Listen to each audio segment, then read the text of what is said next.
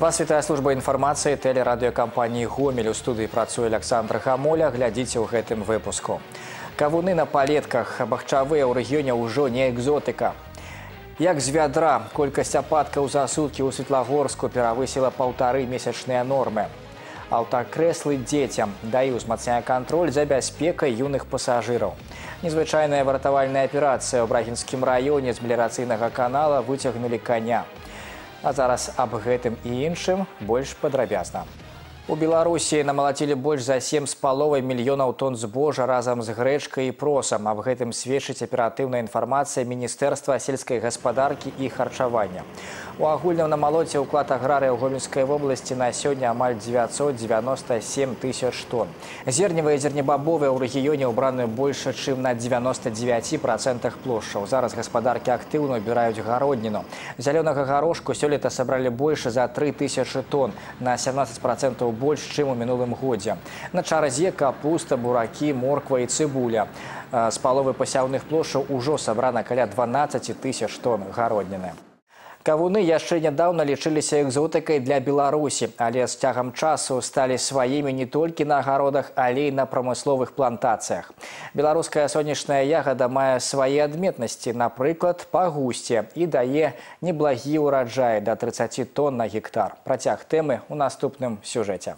На адным такім радзе прыкладна тысяча паласатых салодкіх ягад. Гібрыдныя топ-ган і раманза выдатна асвоіліся ў беларускіх шыротах. Вот этот уже как бы отзывается, разговаривает с нами. Значит, Значит, будет скоро готов. да.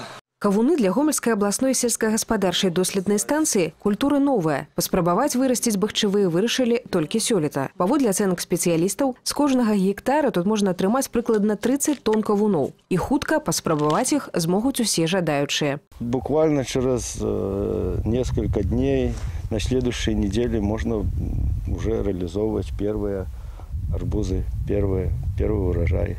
Вполне реально для нашей территории Гомельской области, в частности, в Довске, да и вообще по всей Беларуси, я считаю, что арбузы можно выращивать и получать неплохий урожай. Пакуль эксперыментальныя кавуны набіраюць слодыш, у палях доследнай станцыі убіраюць лук і бульбу. Уражайнасць абедзвюх культур вышэйшая за леташнюю. Навуковыя распрацоўкі, элітны насенны фонд і высокая ўраджайнасць. Сёння беларускія аграрныя ноу-хау запатрабаваныя як у краіне, так і за мяжой. Наша задача получить именно первичные семена и реализовать их хозяйством Гомельской области. Э, Кроме этого, и Минская, Брестская к нам обращаются. И немножко занимаемся экспортом на Российскую Федерацию. Второй год работаем с Казахстаном. Они у нас покупают саженцы. Персік, абрыкос і чарэшня. Яшчэ тры перспектыўныя культуры для паўднёвых рэгіёнаў Беларусі. Яны выдатна зарэкамендавалі сябе ў мінулыя гады. І з асаблівасцямі клімату упэўнены навукоўцы, у гомельскай вобласці можна разлічваць на іх прамысловы ўраджай. Ольга Халадович, Ольга Канавалова, тэлерадыёкампанія Гомель пры падтрымцы агенцтва тэленавінаў з Рагачоўскага раёна. Зараз ход сельскагаспадарчых работ стрымліваюць дажджы. Амаль паўтары месячныя нормы ападкаў выпалі за суткі ў Светлагорску, паведамілі ў Гомель аблгідрамеце. Паказчык у 87 мм складае 145% месячнай вераснёўскай нормы. Ліўневыя дажджы былі зафіксаваныя па ўсёй гомельскай вобласці, аднак моцныя ліўні прайшлі лакальна. Мінулай ноччу ў жлобіне выпала больш месячнай нормы ападкаў 61 мм. У Гомелі зафіксавана 16 мм ападкаў, што перавышае 80% дэкаднай нормы. Па прагнозах сіноптыка ў бліжэйшыя дні ў рэгіёне ўмовы надвор'я будзе вызначаць цыклон і звязаныя з ім атмасферныя франты. Чакаецца воблачнае надвор'е, часам пройдуць дажджы. Тэмпература паветра складзе 5-10 градусаў у начны час і 12-18 градусаў у дзень. Працягваем выпуск. Мабільная група гомельскага гарвыканкама сёння правяла маніторынг дзейнасці завода ліця і нармаляў. Асноўную увагу на гэты раз надалі пытанням дысцыпліны. І хоць значных парушэнняў не выявілі, пэўныя заўвагі выказалі падрабязнасці ў наступным сюжэце. На гомельскі завод ліця і нармалю мабільная група гомельскага гарвыканкама прыбывае а палове чацвёртай гадзіны дня. Праз некалькі хвілін на прадпрыемстве завяршаецца першая змена і ёсць магчымасць праверыць і прапускны рэжым і дысцыпліну саміх работнікаў. Асаблівая увага тым, хто з'яўляецца на прахадной у ліку першых. Зайшов и за пять минут преодолели расстояние и пришли сюда. Молодой человек фамилия? Тапчевский. Тапчевский? Да. Мастер? Да. Прозвішчы ўсіх, хто з'явіўся на прахадной раней за астатніх, уносяцца ў асобны спіс. Праверка гэтых людзей будзе праводзіцца дадаткова. Невыкананне працоўнага распарадку, бадай самае значнае выяўленае на гэты раз парушэнне. Гомельскі завод ліця і нармаляў адзін з асноўных пастаўшчыкоў камплектуючых для знакамітага гомсельмаша. Апрача таго, у выніку праведзенай мадэрнізацыі прадпрыемства не толькі стала працаваць з прыбыткам, але і пашырыла геаграфію экспарту. Сёння яго прадукцыю набываюць буйнейшыя машынабудаўнічыя канцэрны. Тут нават асвоілі унікальныя для Беларусі бавоўна-уборачныя камбайны. Рызыкаваць стабільным працоўным месцам не жадае ніхто. І гэта яшчэ раз пацвярджаць тэсты на ўтрыманне ў крыві алкаголю. На Гомельском областном наркологическом диспансере работаю при медосмотрах. Вот. Так, чтобы встречалась часто или вообще давно уже такого нет. Між тым казаць, што на гомельскім заводзе ліця і нармаляў пераадолены ўсе негатыўныя з'явы ўсё ж такі нельга. Так званая несуны з'ява, якая закранула і гэтае прадпрыемства. Камбайн па частках ніхто вынесці не спрабаваў, але асобныя дэталі крадуць. Па інфармацыі аддзела бяспекі і аховы, з пачатку года зарэгістравана 5 фактаў дробных крадзяжоў. Усе цяпер ужо былыя работнікі не толькі страцілі месцы працы, але і трапілі на ўлік у органах унутраных спраў. Якім дробным не быў бы крадеж, информация об им обовязково передается в милицию. В милиции накладывают штраф, плюс к этому, плюс к этому э, заносится и в милиции, насколько я знаю, единый государственный банк данных о совершенных преступлениях и правонарушениях. И завод, на заводе этот человек больше не работает. Олег Сентюров, Марина Джала, Валерий Гапанько, телерадиокомпания «Гомель». Стартап рух праблемы і перспектывы. Круглы стол под такой назвай прайшоў сёння ў беларускім гандлёва-эканамічным універсітэце спажывецкай кааперацыі. Нагадаем, тут сёлета адкрылася стартап-школа. На сустрэчу, якая была больш падобная на сяброўскую, чым на афіцыйнае мерапрыемства, прыйшлі спецыялісты розных сфер. Аб'ядноўвае іх тое, што кожны ў сваім накірунку звязаны са стартап-рухам і развіццём бізнесу. Гэта прадстаўнікі камітэта эканомікі абул выканкама, тэхнапарку, сэс гомель ратон, гандлёва-прамысловай палаты, прадпрымальніцкіх супольнасцяў і бізнес-школ. А таксама вопытныя бізнесмены і тыя, хто толькі зарабіў першыя крокі да адкрыцця ўласнай справы. Так найбольш актыўна зараз развіваюцца стартапы, звязаныя з інфармацыйнымі тэхналогіямі. У першую чаргу гэта мінімум выдаткаў. Самае галоўнае высокі інтэлект і наяўнасць камп'ютара. Разам з тым увагу трэба ўдзяляць і ідэі, увасабленне якіх будзе больш затратным, але акупіць сябе ў будучым. С техническими, с технологическими стартапами, э, на мой взгляд, надо более плотно работать, потому что они требуют большего внимания. Это и соответствующее оборудование, приборы, и самое главное, э, люди, ну, менторы, эксперты, которые могли бы подсказать и направить.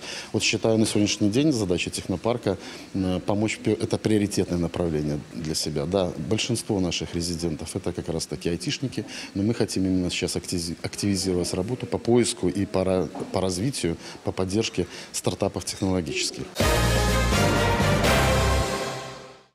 У рэгіёне працягваецца дабрачынная акцыя прафсаюзаў моладзь першакласніку. Сёння ў дзіцячым садзе пачатковай школе нумар 63 горада Гомеля 15 сямей, якія маюць патрэбу ў падтрымцы, атрымалі камплекты са школьнымі прыналежнасцямі. Ініцыятар акцыі маладзёжны савет, які дзейнічае пры гомельскім абласным аб'яднанні прафсаюзаў. Да першакласнікаў яго актывісты завіталі з неабходнымі ў вучобе рэчамі, а таксама салодкімі падарункамі. Акцыя моладзь першакласніку ладзіцца другі год запар. Яна заклікана дапамагаць бацькам у экіпіроўцы дзяцей, а малышам дораць усмешкі, радасці, добрый настрой. Мы стараемся э, по возможности помочь деткам из э, малообеспеченных семей, из э, семей, которым нужна помощь. Деткам были собраны пакеты, это канцелярские товары, это принадлежности к школе, и также сладкие подарки, это шоколадки, конфеты. Приятно видеть все больше и большее количество улыбающихся лиц. Я надеюсь, что мы не остановимся на достигнутом, и, возможно, что-то новое будет придумано еще в следующем году.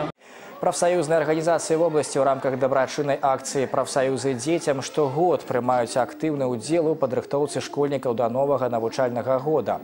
Асаблівая ўвага надаецца першакласнікам, дзецям-сіротам, шматдзетным, малазабяспечаным і прыёмным сем'ям, а таксама бацькам, якія выхоўваюць дзяцей інвалідаў. Матэрыяльную і фінансавую падтрымку атрымліваюць падшэфныя дзіцячыя прытулкі, школы-інтэрнаты, дамы сямейнага тыпу.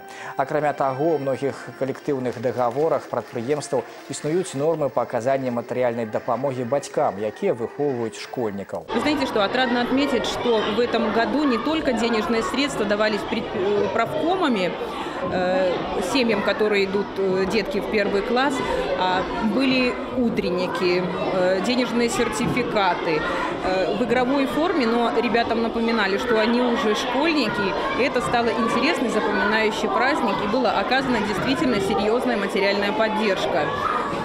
Если говорить языком цифр, это 400 тысяч рублей. З пачаткам навучальнага года дзяржаўтаінспекцыя ўзмацніла кантроль за выкарыстаннем у аўтамабілях дзіцячых аўтакрэслаў.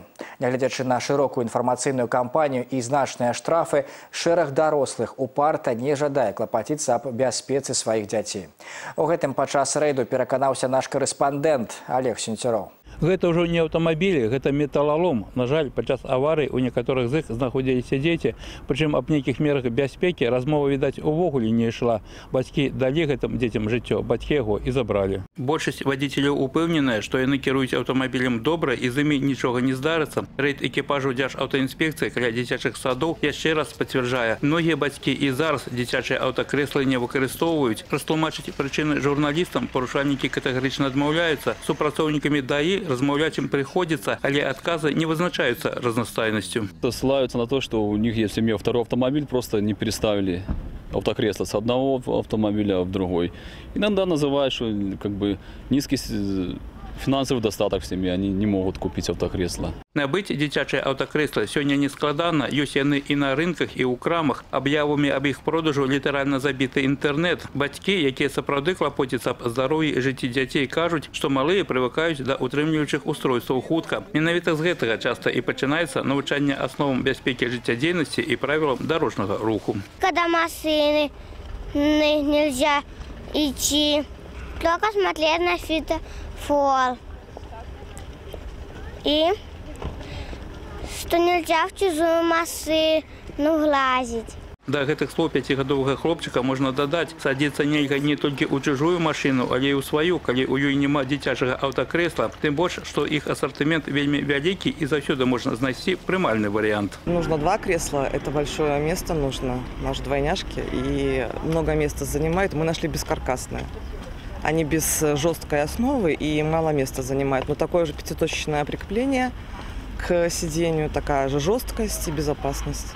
Перед пачаткам заняткаў каля навучальных устаноў усталявалі перасоўныя камеры фіксацыі хуткасці. Большасць вадзіцеляў аказаліся дысцыплінаванымі і правілы в усялякім выпадку каля школ не парушалі. Але штодзень па некалькі дзесяткаў машын у поле зроку супрацоўнікаў дзяж аўтаінспекцыі трапляюць. Прычым не ў цэлым па гомелі, а практычна на кожнай асобнай камеры. Олег Сенцюроў, Елена Макеенко, тэлерадыокампанія «Гомік».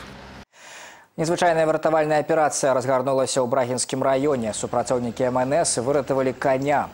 Паведамленне, што ў меліярацыйным канале каля вёскі цалуйкі затрымалася жывёла, паступіла ў раённае падраздзяленне. Пры дапамозе гаспадарчага пажарнага рукава і пагрузчыка каня выцягнулі. Жывёла не пацярпела, дапамога ветэрынара не спатрэбілася. Дабрачынны прабег завершаны. Беларусы пераадолелі 115 тысяч кіламетраў і зарабілі 100 тысяч рублёў для рэспубліканскай дзіцячай бальніцы медыцынскай рэабілітацыі. Выклік падтрымалі не толькі ў нашай краіне, дапамагалі суайчыннікі ў 20 краінах свету. У сярэднім сумарна беларусы прабягалі па 10 тысяч кіламетраў штодня. Заробленыя ўсёй краінай грошы дзіцячай бальніцы пералічыла кампанія аператар сотавай сувязі. Сродкі пойдуць на набыццё новага медыцынскага абсталявання. Гэта і іншыя навіны вы можете знайсці на нашым сайце ў інтэрнэце па адрасе www.tvrgomel.by. Далей у эфіры спартыўны агляд. З навінамі спорту вас пазнаёміць Михаил Садоўскі.